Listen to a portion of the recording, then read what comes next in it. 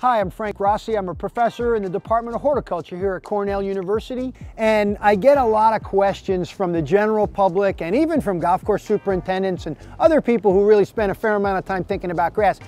Can I have a really good lawn, but I really care that I don't damage the environment? I want to be able to have a lawn that takes me less time.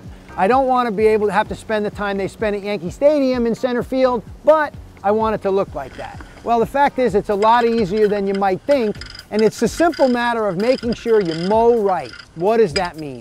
Keep the blade sharp. Make sure you're mowing at a correct height so the grass can grow long and grow healthy. And of course, the longer the grass blades grow, the deeper the roots grow, the less stuff you have to put on. Leave the clippings on, don't take them away. What you want to do is return the nutrients and you shouldn't have much problem having a really high quality lawn and protecting the environment at the same time.